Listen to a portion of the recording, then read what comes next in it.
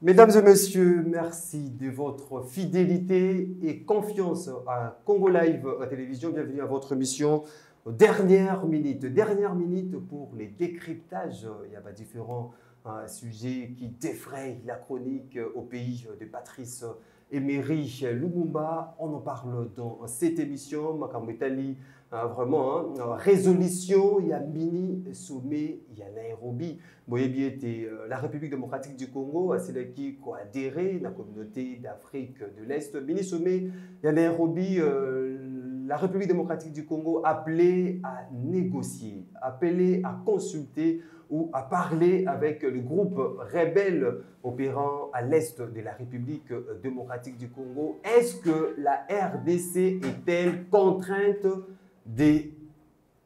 respecter euh, ipso sensu euh, résolution wana oyo esengi ete akoka kosolola na bagroupe rebelle la question de euh, les élections en république démocratique du congo en 2023 la loi qui divise la loi électorale est-ce que euh, il faut tokende na examen mpe adoption tel que voulu na assemblée nationale ou bien concéder euh, na baoyo bayi mboka mosusu bazali kosenga ete makambo etali consensus et ezala dégagé entre le parti euh, prenante au processus électoral pour des élections crédibles et transparentes en République démocratique du Congo Tonsolo. On a Bino, euh, fidèle internaute à Congo Live Télévision, mais également avec notre invité sur euh, ces studios. Il s'agit de Maître Loulou Douli Montou, Oazali, analyste politique, Yambo Kalabiso, Nekolulu Mboteneu. Mbote ndeko Maxime et puis mbote pa balandi nyonso ya chaîne na biso. Dernière vérité, n'est-ce pas? napesi bango mbote dernière minute dernière minute plutôt et napesi bango mbote et puis napesi pe manager ya chaîne oyo mbote maître loulou avant d'entrer na ba sujet oyo nasili ko annoncer euh, le premier ministre jean michel samakul konde azali na lubumbashi sous initiative ya le chef de l'état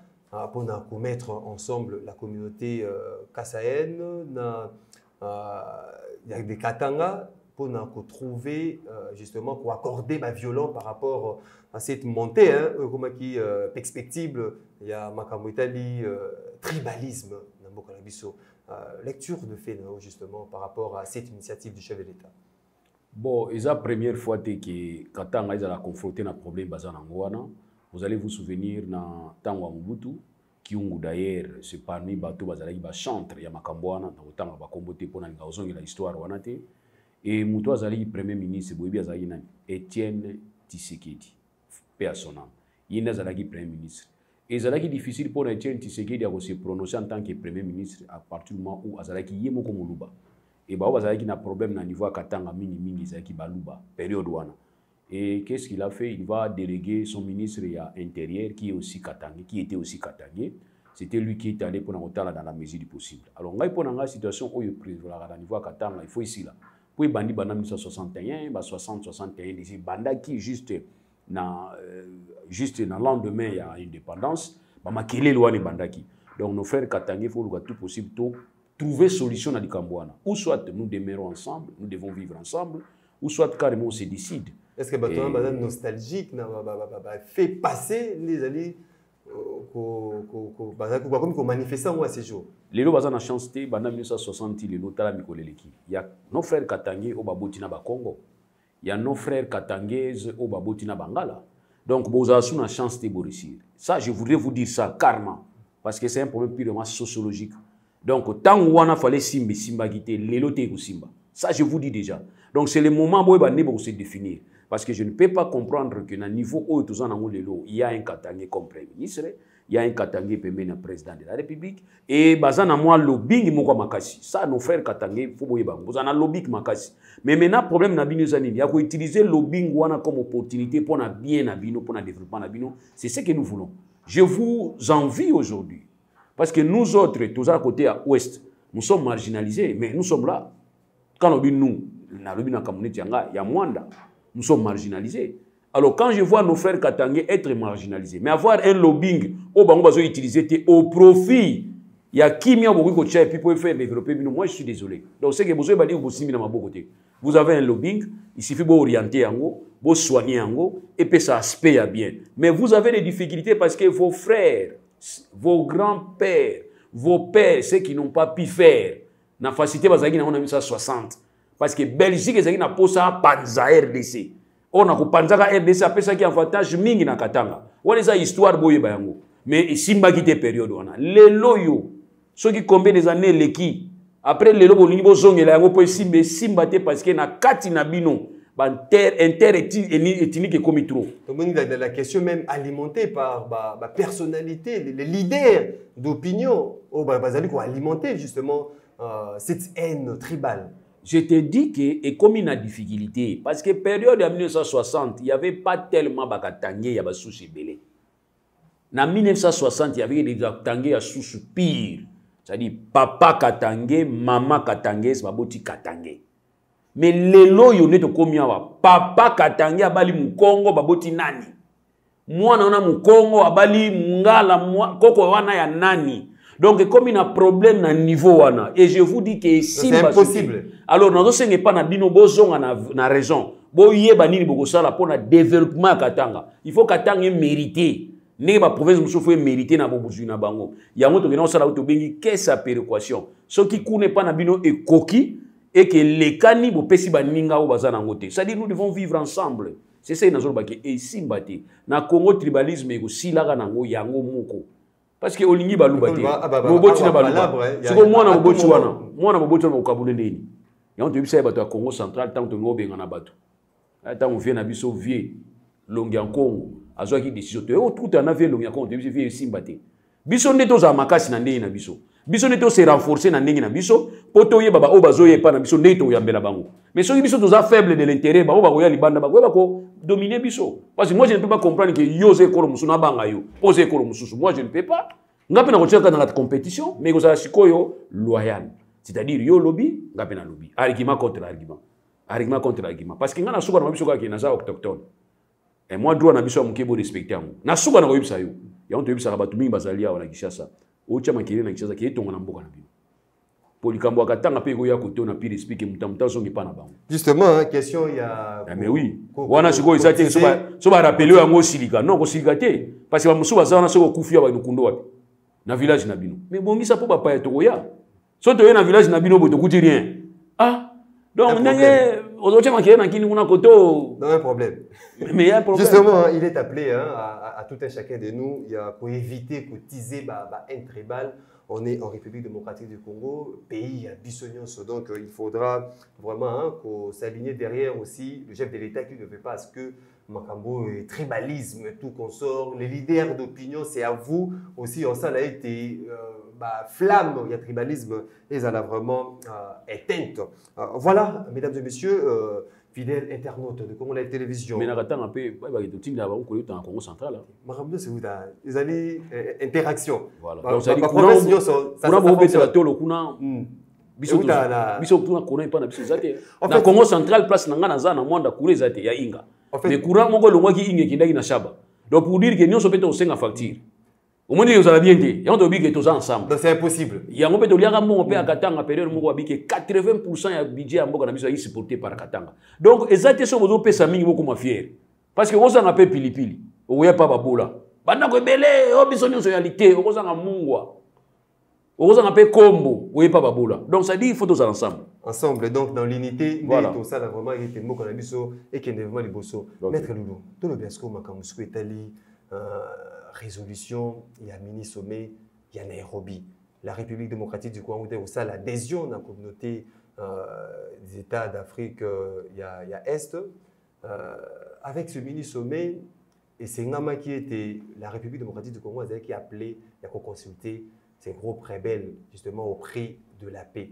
Est-ce que Tozali, la RDC, est-elle contrainte Il y a qu'on appliqué ipso sensu.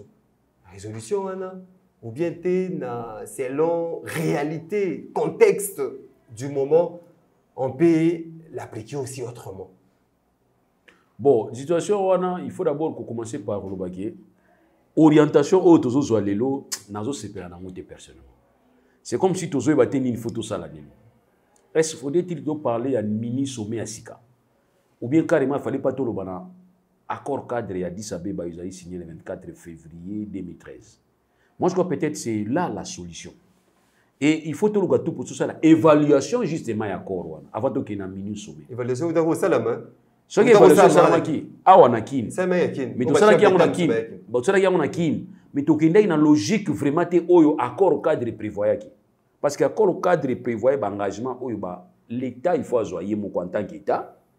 rdc epuis ezali baaccord oyo fale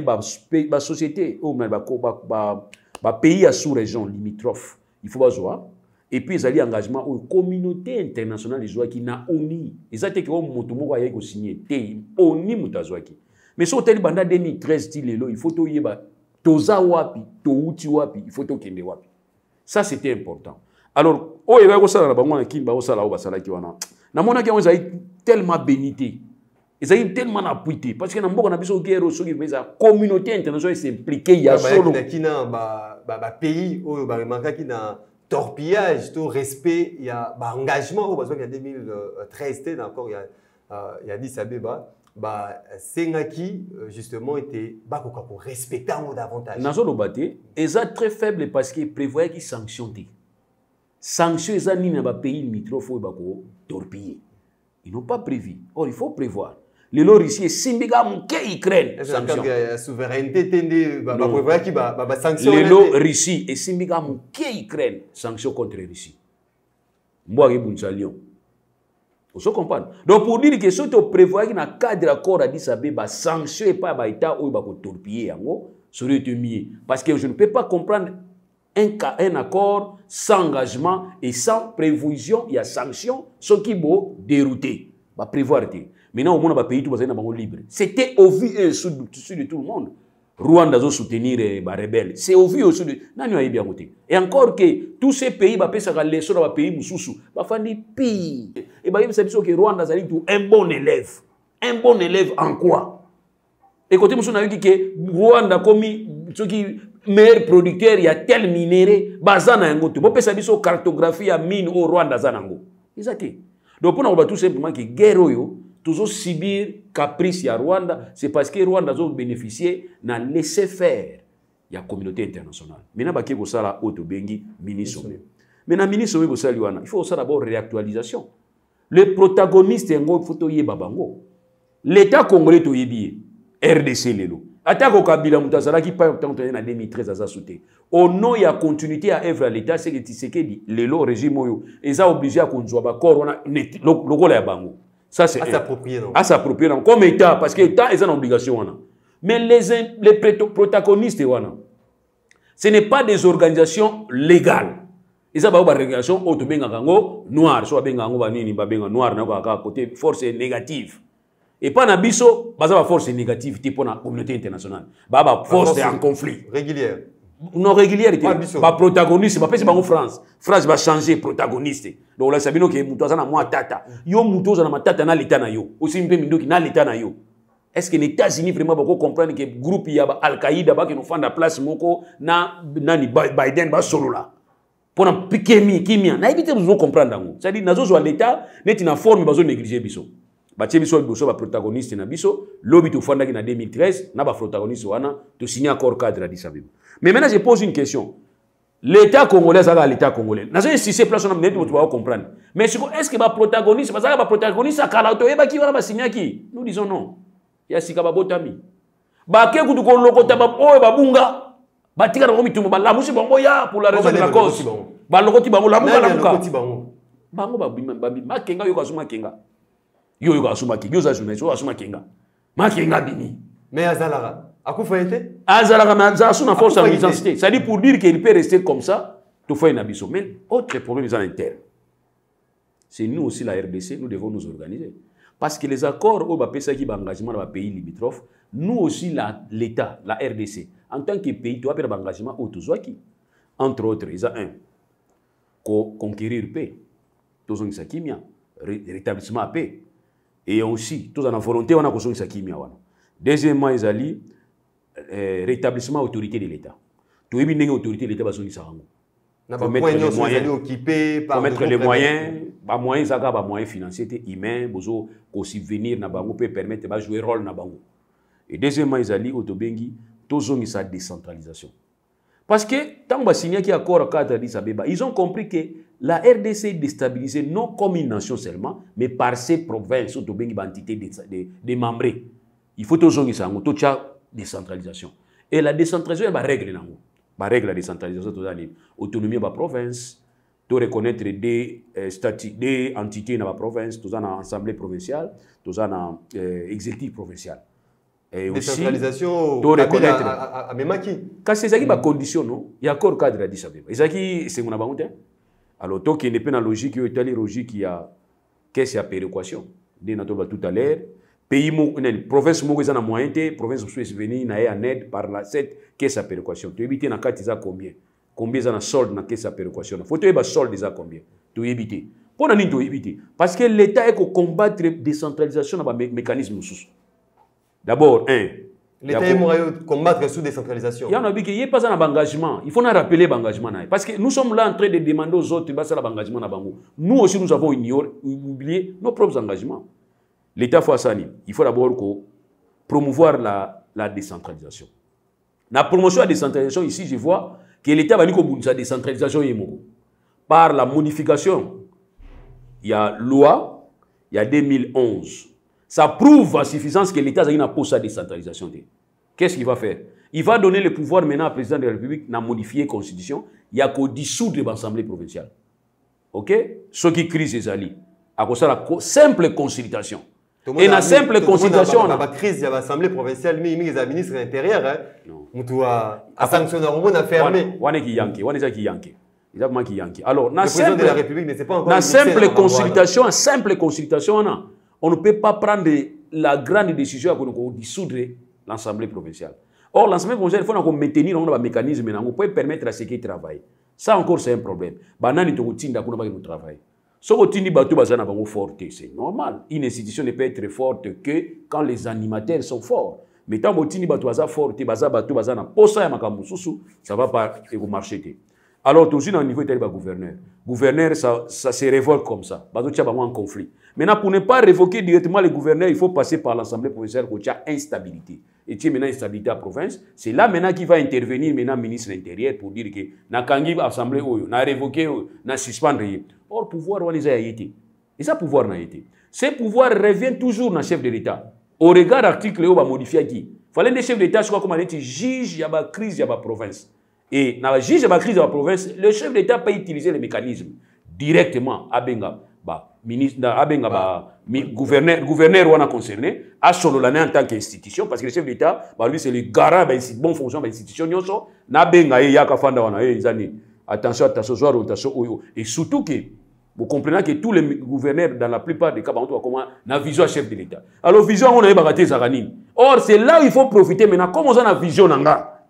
Voilà ce que je veux pour la province wana pour qui ezala. Ozo comprendre basala yango te. Entre le mécanisme mususu na article 200. Ba pesi chef de l'État mécanisme article 200 ya ko convokaka conférence des gouverneurs. Tina ya conférence des gouverneurs des années. Ko ya to fanda to solola. To bana ko réfléchir qu'est-ce qui a peut amener C'est ce qui est fait hein, chaque année avec le Félix Tshisekedi. Qu'est-ce qui peut faire Qu'est-ce qu'on peut faire pour le développement de la province Qu'est-ce qu'on peut faire pour la, la, la stabilité de la province oyebisi ngai yango ezosalama mais première tape première conférence de euh, gouverneur esalamaki boyebaki yango ezalaki nini objet adhesion ya union sacrée oyo eza objectif ya conférence de gouverneur te deuxième conférence de gouverneur yo moto oyebisiki esalami nazoyebisa yo ndenge esalamelaki deuxième conférence de gouverneur eyo osalama bolandaki yango ezalaki nini baguverne bango mobangaki bango lokangaka bango basengi mpe achef de l'etat apréserve bango basala mosala basisa mosala na ye na manda na ye balongolaka motion bango osalaka ya défiance na baassemblée provinciale nyonso bonayebi te chef de l'etat ayebisa ye bango nini soki ngai nazalaki neti chef de l'etat nakosa bango ke te ngai naza constitution te bobunda nde na constitution mais ayebisi bango yango te nayebi te promesse nini apesa ye bango yango tomoni mikolo kimia na baprovince baolongola su bango te peut-être chef d'état intervenaki donc le chef d'état doit intervenir mpo na permettre ce que décentralisation ezala effective mpo na nini ecreye stabilité na baprovince ecreye stabilité na rdc c'est là ekopesa biso makasi ya koyeba ko négocier na bato ya libanda ya suka eza nini on demande na kati ya accord cadre ya disabeba réconciliation et la tolérance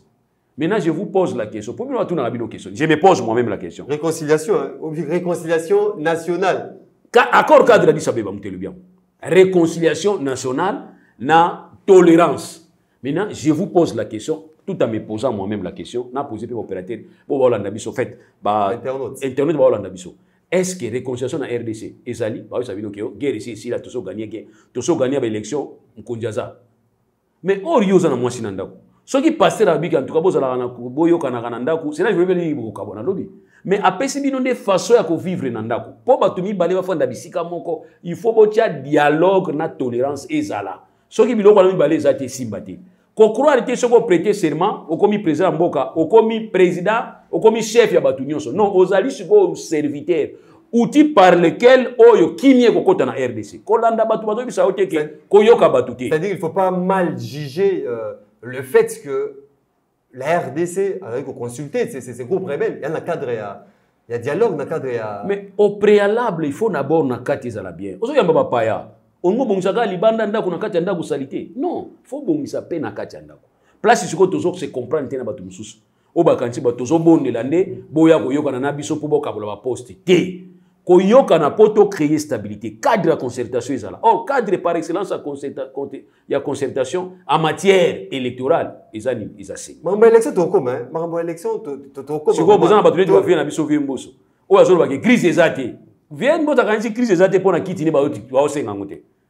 sikoyo vieux jour bakobisa yeke vieux towana besoin kiti no wana place akolobaki crise ekoti or la crise oyo tozolobela eza crise nini ya bapositionnement na biso na bafaçon tosala mpo mboka etambola na bino mpe baopposant bozala mpe dire te parce que moi je ne peux pas comprendre opposition moko dire pour rien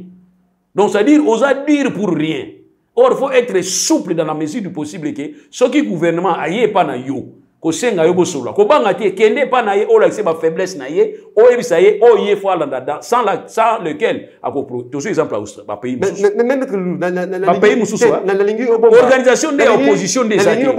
l'opposition doit s'organiser tanto boza barésistant tanto boza alors tanto boza barebele or na kati ya constitution na biso baprévoir loi ya résistance te ba prévoir loi ya opposition bozala ba opposant e bino mpe bato ya pouvoir bozalaki ba opposant kala mingi te sikoyo ntango ba opposant bazo se oppose lelo bino bozosilikaka pourquoi parce que bino bozalaki obi kabila nyoko ami toko kwa mwana mobali oyo kabila nyoko ami na idps basali kabila sikoyo bino bolingi bayebisaka bino te pourquoi énergie makasi parce que tofongola kala mingi te tofongola porte ya makambo etali bilo électorale mais toni tosilisa nano na moke na makambo ya ministre mais euh, après résolution na babaki soki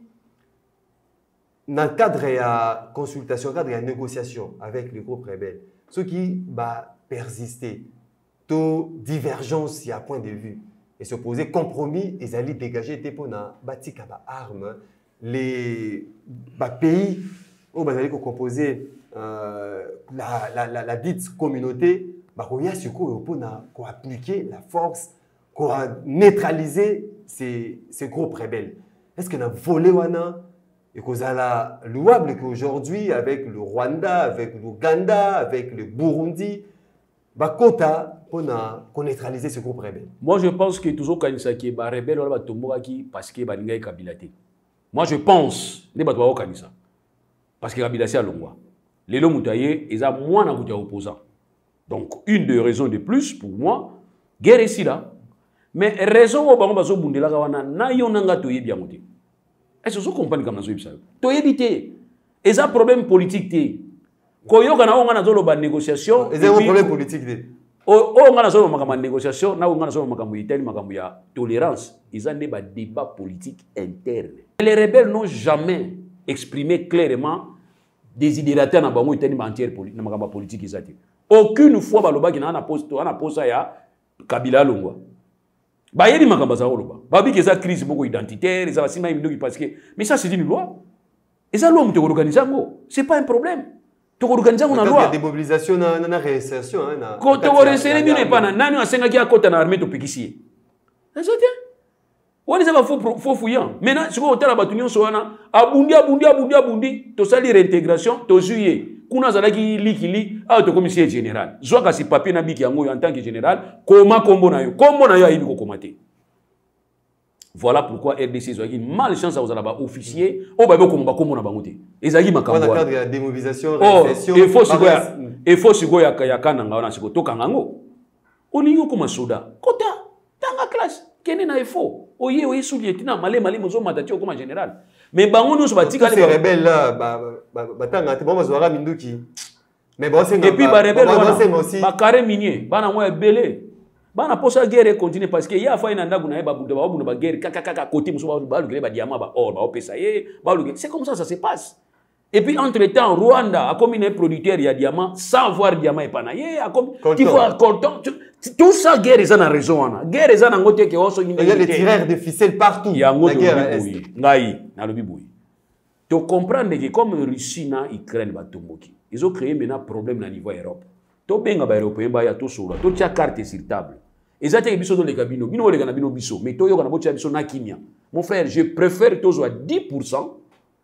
ya ba richesse na biso mais na kimia bato bakufaka na bango te toliaka mwa 10 na biso moke moke bango azala bango 90 donc toya konegocie nde ya sika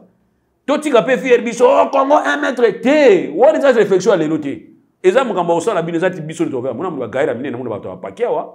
tokuti peti moko ya moke bona badiama biloko ebele mpe na zamba topesa peti to oh, te eza droit na ngai tokosala nini tokolia yo na badiama wana donc tokodame yo na diama na yo tolie yo yango nde baosala rdc fiere mosusu toza nango ah, rdc eloko makasi tozalaka makasi te mais nde tokende konégocier male malembe c'est comme ça donc male malembe tozotise mpe male malembe male male male ti tokomona point moko boye esclavagisme te moto ozali baesclave kala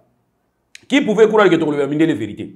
kala oso na mundele obia oveni mundele veritaki impossible mais aujourd'hui on commence à parler parce que bakoko na biso basouffraki na esclavage malema lema ti bakomaki affranchi nous serons affranchi mais na bastratégie ya makelele te les congolais vous de makelele trop e makelele onso otia na kati ya rien contenu vide zero tokena logique kasi yango nazopesa te rendez-vous du donner du recevoir Rwanda azo pesa bino nini oyo biso tokopesa bino directement te sans ke boboma bato ça c'est le de message mpo tokende yango vous profitez de quoi na Rwanda oyo apesaka biso badiama kasi ya moyibi te ya makila badiama ya bino moko mpe lisusu oui bozwaka combien oyo oh, tozwaka bapesaka biso ba 50 pourcent oyo oh, boya kozwa epai na biso 90 mbala moko biso otikala na 10 mais epai na bino 1 kolongwa te meme 1 boza na makasi ya kolongwa na 1 te ya napesi bino exemple bagaere namoni bapake namoni kuna na nsima kuna tokoti na kati ya zamba tokuti peti moko badamase biloko atandi yango boye na badiama na baor tobondeli petipeti todame ata moke peti jamais bokomela ata mai te biso biso posa mai posa ya damase peti tokolia yo na yo na damase todameo yango tokosalama lelo tokende kosula mais c'est comme ça il faut comprendre yango na sens ya ndenge wana eleo liboso comprendre te c'est ainsi vous allez remarquer kama kala il y avait deux tendances tendance ya lumumba na tendance ya kasavu lumumba baki papa est ce bavie na nete ozala oyokanaka te emso bazala oyokanaka bavie wana sûrement bavie bazala oyokanaka masa yo beta na gauche kuna beta na droite ntango lumba koya papapapa kabika kasavu baye ntango lumba beti papapa kasavu baye peut-être bango bazosala biso toza na shi te biso kaka pa pa ntango bakosala bung bung tokimi mbango o oh, bazo agresse biso on vous agresse parce que vous, vous êtes agressable Parlons-en à présent, Maître Loulou, j'espère que le, les conseils hein, au PCI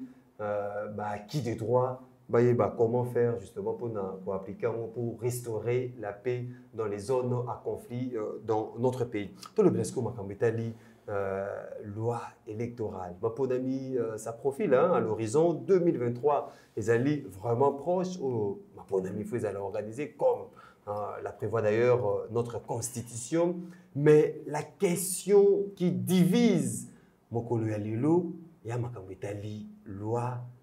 électorale au moment où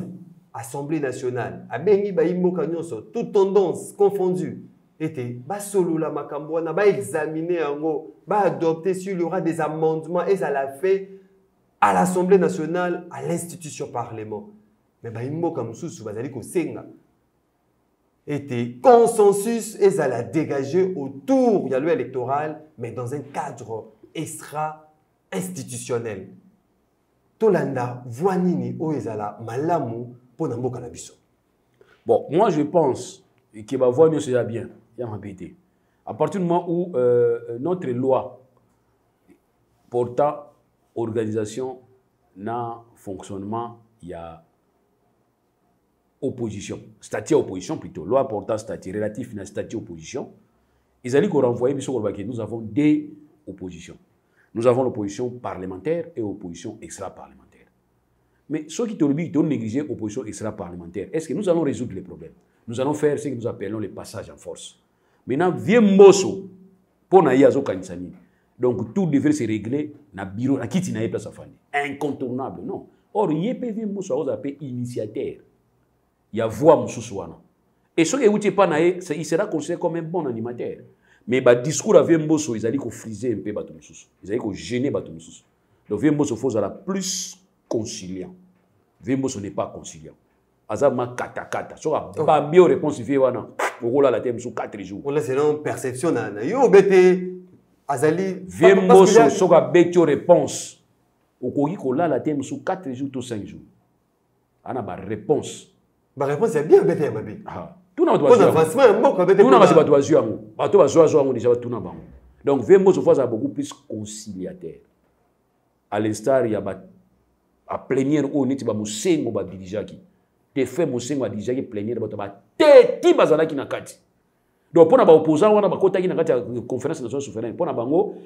vie nani monseigneur mosengo azotravaille pour le compte ya mobutu e balobelaka mosengo mabe mosengo toujours koseka toujours koloba vous sentez mpe équilibre tomoni mpe vie na biso vital mpo bato balingaka koloba te so na bigi ofie na biso vital baennemi nyonso bakomi ennemi nanga baennemi ya vital botikala na vital ngai nakosala ennemi te ki ennemi nakokaka te mais nalobi oyo ngai nazomona malamu epai na ye ntango azalaki président assemblée nationale vous sentez ke azali moto ya, ya kabila mais ozosentir ke azakokende badebat d'ailleurs c'est cette ouverture d'esprit esalaki ke balongola epa bato ya kabila donc vie mboso nde c'est comme si azo natangi oyo natangi te euh, fo natanga loko bango nyonso fo natanga bango tu na bato ya mobutu bazali baprésident ya assemblée natangi mibale mibale kaka natangi bato mosusu napesi bino mbote mais mibale ah, voilà napesi bizaka mibale alors mpo na koloba tout simplement ke vie il faut aluka tout possible ajoue rôle ya koko moko boye ya bajeune babenganaka bakoko na bango koko moko boye azwaka solution epai ya bajeune oyo bajeune nyonso bayaki epai ya koko wana bakomisaki mpe koko wana mokonzi histoire mokobazwaki epai koko mosusu kasi histoire moko te bajeune basedeside babiki tozwa bakoko nyonso toboma bango jeune moko boye mayele azwi koko na ye abombi babomi bakoko nyonso soki bakomi na problème moko ya digestion balobi tokozwa solution baluki baluki bango moko balobi e eh, so tozwi moto azwi biso solution akomi chef na biso libela kok peti wana ke ti epa koko na bango place abombaki ye tala boto abi te bosala bo bosala bo bosala bo peti aye tosala bo tosala bo to okoma chef abi te ngai te mpo ngai te napesi ide nani apesi bino koko na ngai oh, yo omaki koko na yo te mm. oyo nabaraki ye te aza kuna koko wana akomaki chef eloko tooseki mpa vie mboso yango vie mboso okobeta karte na yo ya suka ntanke vie elelo tolobelaka lumumba epuis tolobelaka mboso lelo conseil napesi vie yango wana sikoyo ndeko lulu namona conseil na yo ezokende namoni oza ko développer angle moko oui angle oyo ma oza ko développer ya angle ya consensus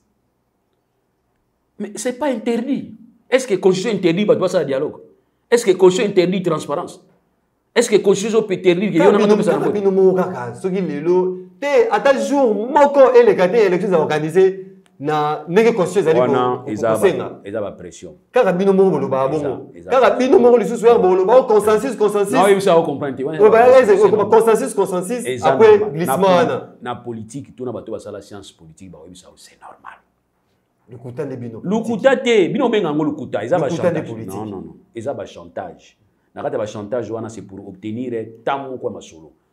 sikoyo bato mosusu bazoskanisaki soki tobi tokota na masolo eza mpo tokabola poste oyebi na kongo ezalaki nini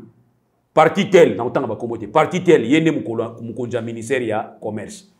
soki bolongoli motu moko na ministère ya commerce mpo otyaka motu moko moko akende ozwa ye balongoli atie mwasi na ye ye azalaki ministre kala akomaki directeur ya cabinet ya ministre wana parce que balingi batika ministère te babike ministère wana cadre ya partage ezalaka ya kingandi boyebaki yango te na congo esalamaka sikoyo yo ministre ya kala olongwe okomi directeur ya cabinet ya mwasi na yo biso tokobenga yo son excellence monsieur le directeur de cabinet oubien tokobenga yo son excellence monsieur ministre honoraire directeur de cabinet actuel tu vois donc pour dire ke babétise wana esalamaka sikoyo bato bakanisaki babétise wana ti lelo eza na moto ya bato or ngai neti nga naokanisa ndenge wana te eloko naokanisa eza nini processus électoral c'est la seule matière oyo constitue asengi ke toutes les parties prenantes basolola c'est ainsi moto oyo tobengaka moins universitaire kabila ntango acomprena na 2018 mpo asala baélection oyo eza makelele makasi te asalaki nini abengi bango nyonso autour ya machine à voter mais yo nanga toboyaki machine à voter bamosusu bandimaki yango une semaine kaka bandimi machine à voter donc cette stratégie nde yango ezosala barégime ya lelo régime ya lelo fo oza na bapossibilité ya koyeba ke histoire oyo bino moko bocreaki na rdc il faut bo se repérer nango lelo boyebi te nani ayebi tekenani oyo ayebi te ke idps nde azali na opposition nani oyo ayebi te ke lelo parti ya pouvoir lelo eza idps tirer l'information tirer la reconnaissance tirer l'expérience ya ndenge bozala se comportaki comment est ce que idps ase comportaki face ya kabila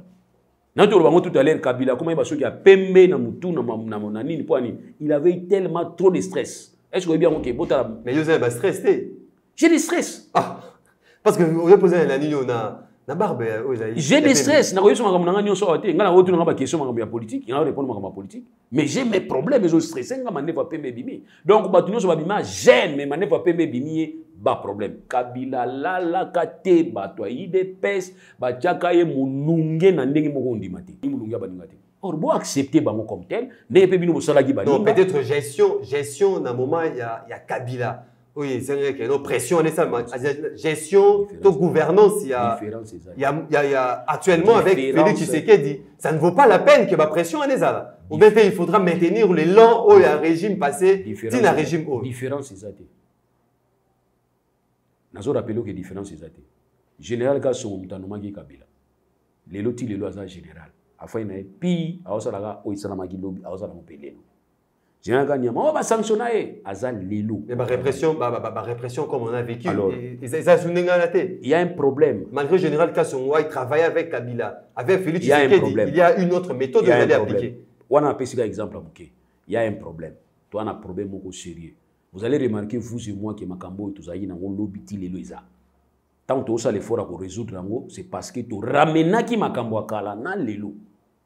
tosangisi yango na 2018 na 2019 baya kosala makambo na bango fcc cash c'est ce qui fait qu'aujourd'hui toa na retard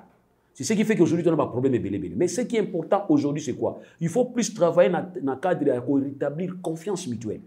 et il faut faire un effort parce que si nous avons fait un effort ya kotinda bato na biso oyo tobengi soki taste force bakende konégocier na barebele bakanga bango kuna nous avons eu cette volonté d'aller parler avec eux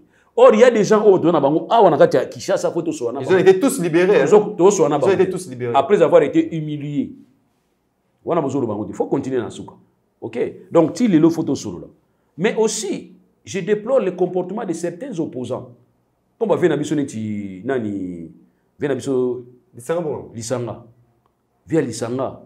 nao reproche yo vie toya kokuta okote nini mpo tosolola vie natuni question toya kokuta yo kote nini mpo tosolola na vie bisika nini na kiti nini tokoka kokuta yo parce que meme likambo ya nzambe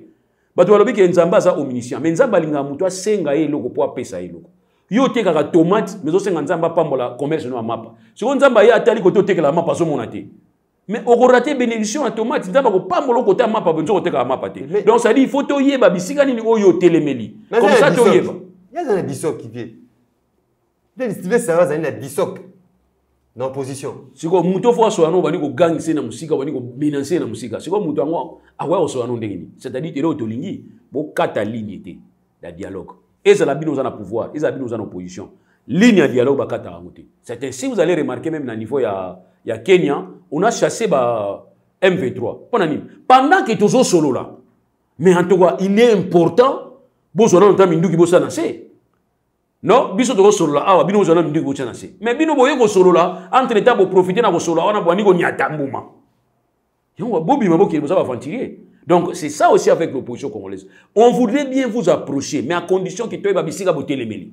bato mosusu baza ndenge nini soki alobi agangi agangi oapproche ya kimi aza so wana te soki ah, mais okomi mpe osiya boye ndenge nini bozala na position ya kolobaka etalaka moto olingi yango yango bato mosusu balingi lelo oyo tokende kofanda bisika moto osola est ce que bondimaka pouvoir oyo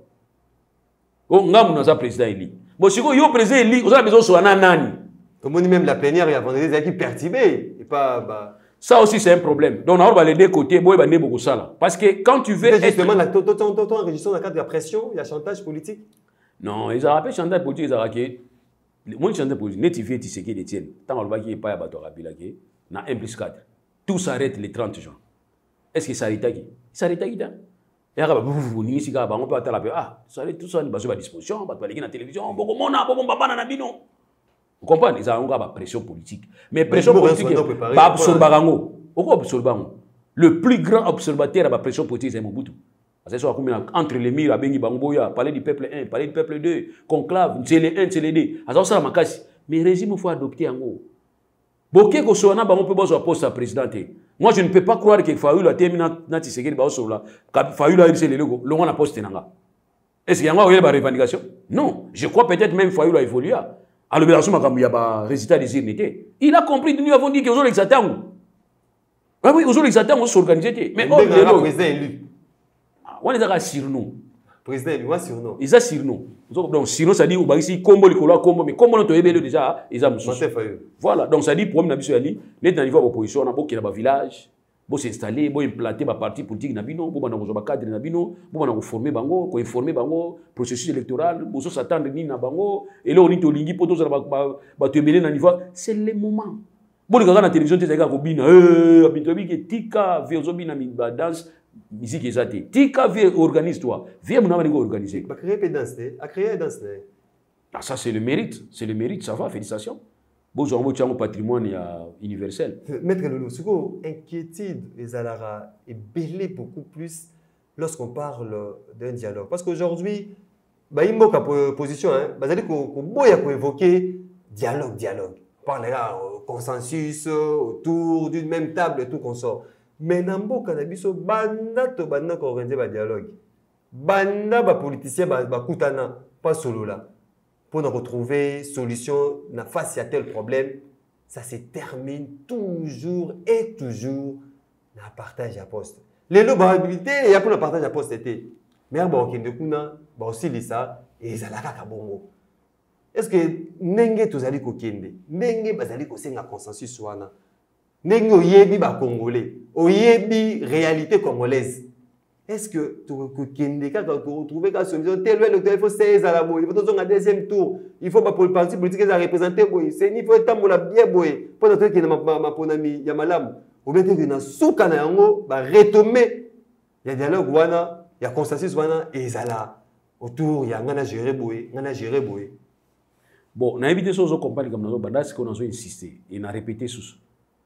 ki dialogue eza de dialogue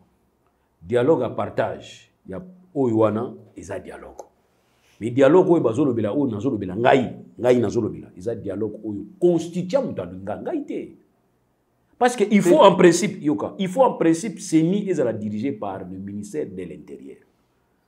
ozo comprendre ngai cest fallait exécutif nde aba kosupporte finance na technique ayeba kozala ye moko comme technicien financier ya organisation ba élection comme ezali na problème ya confiance esilaki confiance elongwaki yango ntango toke na 2003 na sun city nayoka epe mboso abwaki sun city esi esila mais baretombe ya sun city ezokontinue kolanda biso ti lelo esila reunion cérémonie esila mais esprit ya san city na loi wana ti lelo eza actualité yango na bisi vie mboso vie mboso bongisa balangage noza mokolo yo nde fo oyede biso bana vie mboso nde azojoue role ya ba eh, bolimbisa nga pardon biso osakana mona mabe role moko oleki bozoloba ozo comprendre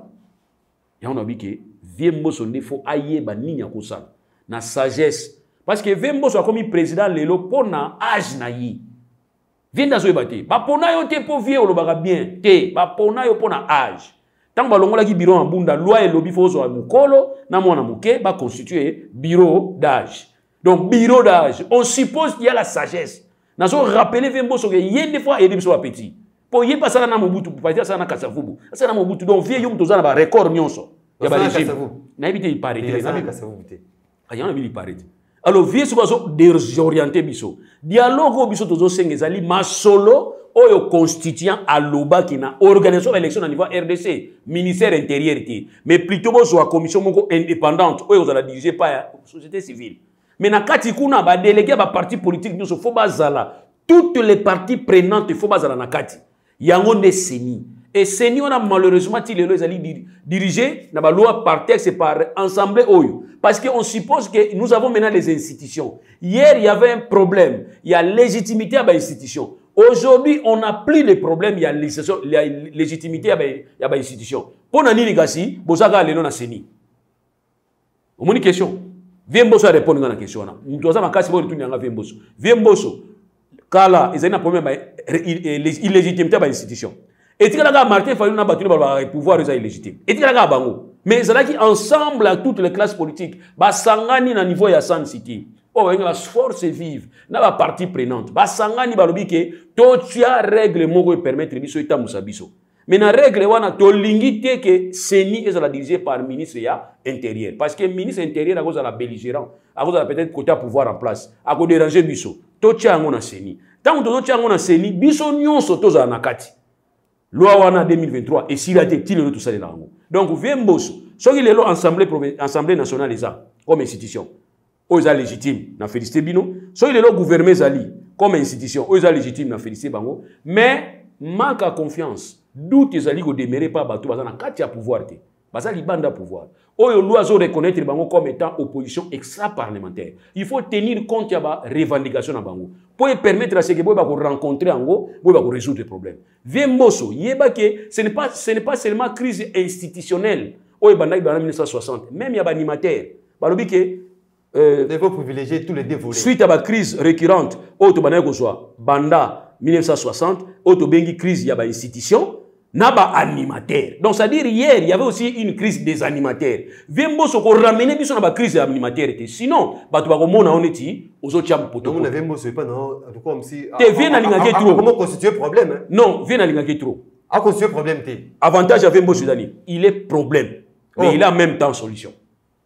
maintenant azolinga kolongola ekota problème nakomisa ekota solution mpo epermettre ya seke vie nde aede biso parce que balangage mosusu abetaka na liku na poste wana fale pa ye abetaka yango fale koka mpe apetini moko obetelaka ye yango ozo comprendre fale te abetaka yango neti makambo na denis esanga denis esanga azo asatake na gouvernement c'est un député il a façon moto ya moto aza na façon ayelaki na niveau assemblée l'assemblée nationale moto ya moto aza na éducation na ye si lui fait ça eke gouvernement amoni yango mabe gouvernement ekosenga bato ya gouvernement bazalaki wana Voilà bakaka ke oui Deli tu as dit c'est eh, eza opinion na yo zo engagé biso te mais to senga na gouvernement pe bo mata wana bo sala réplique na bino po ba to ayoka bino. C'est ce qui devait du faire. Mais abani discussion na na c'est na c'est sanga. Na kati ya likolo yo oleko za l'arbitre arbitre a chebi. Vita na imana bazo beta arbitre a che bi côté vita. Arbitre pe a sauter azui bien. Non attends c'est pas normal. Et on te dit vieux mboso yende fois aider biso. Biso a petit na ye. ok yango nabi ke dialogue tozosenga eza dialogue te mpo bokabula poste te biso dialogue c'est le permanent dialogue permanent oyo constituant alingaki esalama mpo na baélection nazo insiste mpo na baélection yo ozali kose base vraiment na, na batexte mpo na baélection soko olobi ke o oh non dialogue mpo okabola poste mais écoute yo oyebi bafoye te ezalaki babundi na moi na toko na mpoka baboti toyebi yango te na afrique c'est normal ba couple nioso ebundaka pa mpoma na moi babotaka pe trop oyebi yango te donc surtout pas normal je trouve ça normal soki toza na conflit politique toregle yango tokaboli poste où est le problème est ce que eza grave eza, eza, eza, eza péché donc nionso emema biso na pe na c'est la voie de la paix toutes ces voies là ezali totiki kobunda toyokani mpo tokabola nayebisi bino bon où est le problème kasi bato ya idps lelo bozali mpo nayokaka babi bazala bango bazala ti yesu akoya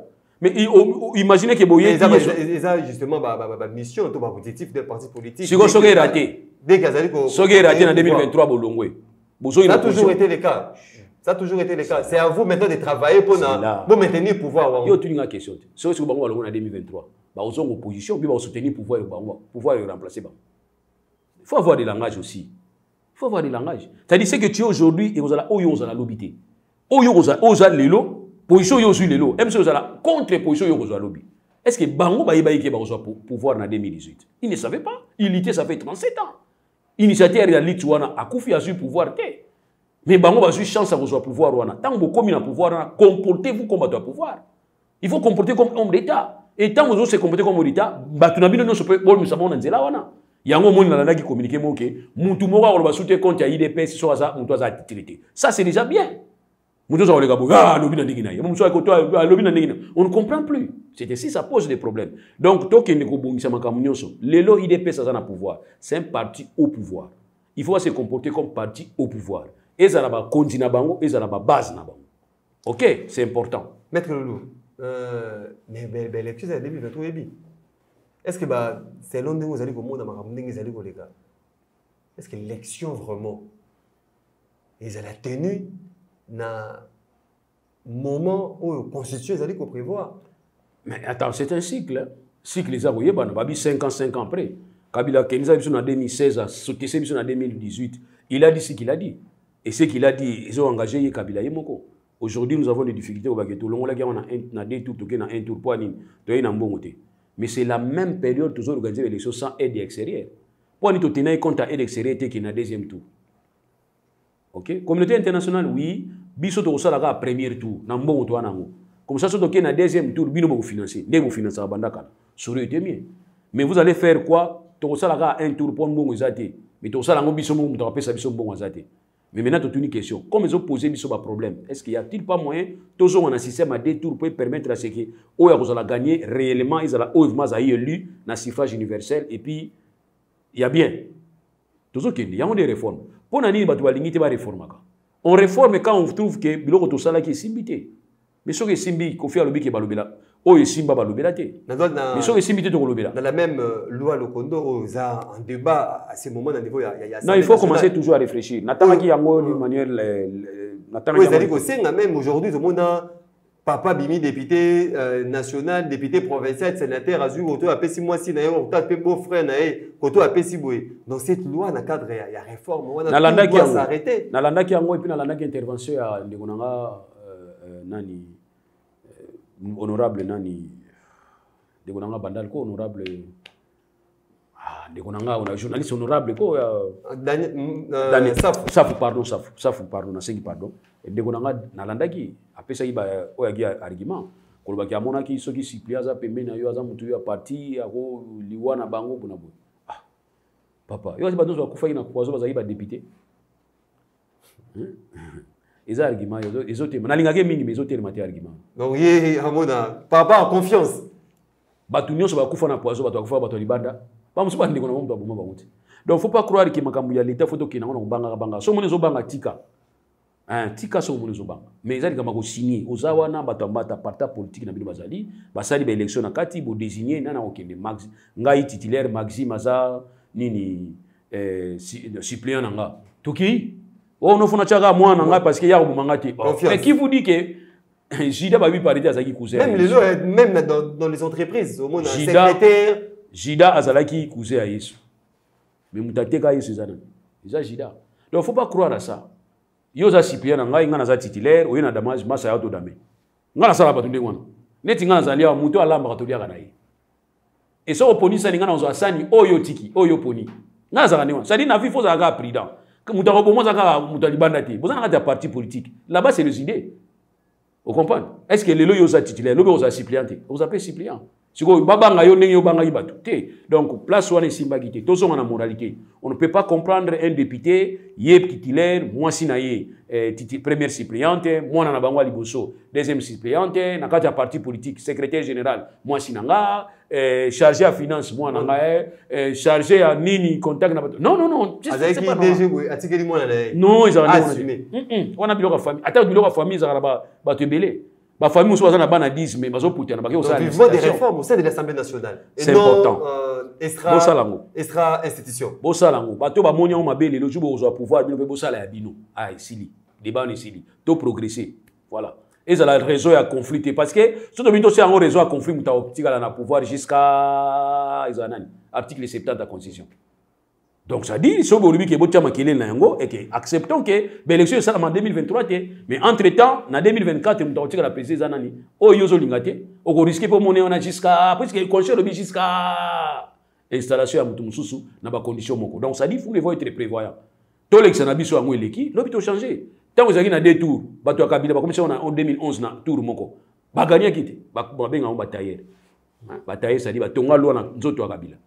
bachangeaki te sikoyo bazobénéficie na bango te soki oyebi ozongisa yango na deuxième tour ezongi bato balingaki premier tour soki oye kozwa pouvoir na 2023 bozongisi na deuxième kaka bino c'est comme ça ça se passe mais biso olingi motivation boyeba mpo na nini bolingi mpo na nini yango nde place wana tozwa réponse te même na question ya, ya, ya se hein, par rapport à ba, ba parti politique ebomi bato ebele bato mosusu bakomi badepute lelo par miracle moins de moins élu mais comme eza sey oyo aza na liboso batali sey eza te ale bangula bangula oyo azalaki de ale babendi ye ça c'était une forme ya injustice alors soki lelo tokozonga na système normal nominal ça va pas de souci eza mpo ma grave te mais lelo tolingi mpe kuna bokitaka kuna bozala mpe na baidée loi lutundula ezali loi bakajiga ezali baloi mpe ya bino mpe toyozelanga oyo nasalaka na commission mais si osalaka na commission okombaka obongisaka bakiti ya commission bien nini yo oza député totindaki yo kuna mpo ngai eloo nazolinga mingi na bango badepute surtout ya biso ya circonstitution na bino naotya bango panzi mikolo oyo nayesi bango ke pesa ata mbote aleka apesa ata mbote euh, monsieur le président votre honneur pesanga parole mpo na nini vraiment naa na motion information oleki ka likolo obi ka bacirconcision na ngai mbote mbote ngai oyo nazali nabaloba au moins baza visible ata bonjour apamba oleki olobi na micro ça va nous e, ça, ça va nous égayer mais oyo oloba te kaka wana commission quelle commission commission nini ozala commission yango yana tuna na kati ya commission yo bongisaka bakiti yo okombaka yango ou bien nayebi te quelle commission boloba ici je félicite tous les députés baintervenaka mpona bacirconcision na bango parce que je ne suis pas obligé de dire que toya na kati ya eh, nini babenga nini groupement politique ena interdit ya kolo non groupement politique na débat oyo eza engagé mais yo en tant que député ozala mpe na motion ya formation ozala mpe na monsieur ya procédure otelemi mpe olobi ke oui monsieur le président voilà voilà voilà voilà et puis voilà mais yo obimaka te olobaka te o oh, biso orespectaka consigne ya groupement politique na biso yango te totindaki bino badepute na bagroupement politique na bino te totindaki bino badepute national cestadi faut représente circonscription na yo et puis aussi intérêt national maître lulu tokomi na suka ya émission maloba na na suka mpo tokabana nayo bon maloba suka eza kaka congo tozopasse eta étape moko très décisif ya, ya vie na biso toluka tosala rate te soki tosali rate ekozala bien te et aussi je demande à tous mes frères congolais oyo bazali vraiment kolinga nation tovivre na esprit ya kovivre ensemble totika esprit ya kopotanaka potanaka eza na ntina te bandeko na biso ya katanga réfléchissez mpona bopesa bamotivation na bino ekozala nini mpo epermettre aseke katanga wetu eba kotombwama ekende liboso Bandeko na biso pa Kasai, ce n'est pas interdit. Ba rappeler bino ki bozonga na mboka. Kozonga na mboka te babengani yo. Kinde kotonga. Après ozonga no bisiko lingaka. Ça c'est le problème que nous avons même na niveau ba Mwanda. To bisaka bango. Chef d'État merci hein. Merci pas chef d'État opesaka 100 145 territoires 10 millions 10 millions. Mais comment payer? Jusque nanu tozwi yango te. 10 millions 10 millions 145 territoires. Déjà déjà décaissé déjà. Sikoyo yango ne problème na ba ki mécanisme wana na kati ya constitution za prévité. toza na décentralisation faut pesa mbongo na ba province pour province ese développe mais topesi yango na baterritoire eza problème grave te moi tout ce qui est bon pour l'intérêt ya bato nyonso na apuyaka na nga yango ata eza vraiment violation na bi merci mais nous disons tout simplement ke moto na moto sikoyo fo ozonga na territoire na bino babengani yo place ozofanda te neti ngai nazali awa kala mingi te na ozonga na territoire na nga mpo na tala makambo ya dimi oyo apesaki biso ya hydrocarbure eh, tozwaki yango eza mankelele ezanga polémique ezanga ntina epuis na 10 million oyo ya baterritoire tozala 20 million soko fo nazonga na territoire na nga mpo naki etala nini fo esala na contribue yango nde tokosenga bato mosusu bato mosusu oyebisi ndenge wana ke zonga na territoire na bino atomboki yango moni ntango bokokufaka banokuna bino ya baterritoire na bino biso bamasa tokoakompagne nga motu nyonso atyaka makeli na kini okotala na okende na ofuta ata biye na nga hotel oh, politicien moko atyaka makelele na kin ah, te nga na mboka na biso te nga na mboka nga na village ngai nalobi yango bien bakokunda nga na mboka na biso ngai lulu bakokunda nga na village na biso sikoyo yango soki nazolinga nde namibongisela deja bawese mpo bokoya baota minoko comme bino ozalaka minoko makasi ozala lisusu te kasi ifo boya bomona te okei omona biso na biso tomona yo te me omona biso encourage bato batyaka makelele awa inotonga na bamboka na bango mosusu bakende na mboka na bango na kotanga nkombo te baye kuta botoilette moko boye soki okoti na kati osa ezobouge boye Oh. mama titi mama titi bakubu mais awa atyaka makelele mais biso tokenda mboka eh. partout tokenda omona mpe toyeti mo batie libaya boye batie libaya boye batoilete ya mboka wanaekende oyoka eloko te batoilete ya mboka wana ezali batoilete ya mboka kala moyen eza te maxime oza na bamoyen ede mboka na bino kozwa raison wana te kende koyede mboka na bino na oyo okopesa na mayele oyo ozwi na kinshasa kende koyede kinshasa ezalaka mboka na bino te na carte électeur no batie fe ya kinshasa me batie groupement ya kinshasa te bokeba mboka na bino eloto merci chef de l'état idée ozwaki ya kitoko ya 145 territoire na lela no fort mutu na mutu akende na territoire kotya mobulu te mpo yo babino ozalaka oye otya mobulu obandi koderange bato te kende koaccompagne bato ya mboka na bino botonga bainfrastructure ezozanga neti biso na mboka na biso lekole mboka na biso na mwanda village ekole ya moke totye déjà trois ekole moko boye bazotyaka ekole na mboka na biso mpo wana na bakolo bamboka ebele mboka kota bomama kota botata kota bomama ncende ekole eza te bato bana ncende wana bazolongwaka bana mike bazolongwaka ncende wana ti na congo à peu près ba 10 km bana mike bake ntango oyo ya biso bazalaki na monde ya village mpo batraverse bakende kota ya couvent mpo batraverse eh, rivière bana bazali na bariske ebele ebele alors ntango mpo toya tolobaki non oyo eza riske botonga boye oyo boza riske bosala yango role na biso donc so bayebi si ozonga na mboka na bino kosilika te Ah, bongo tozonga na mboka na bino osiliki oza na problème kuna babengana yo alors mesdames et messieurs l'émission est terminée euh, réalisée par euh, joe euh, mukenga tokutani lobi pour un autre numéro de votre émission dernière minute botikali malamu na mboka ya bino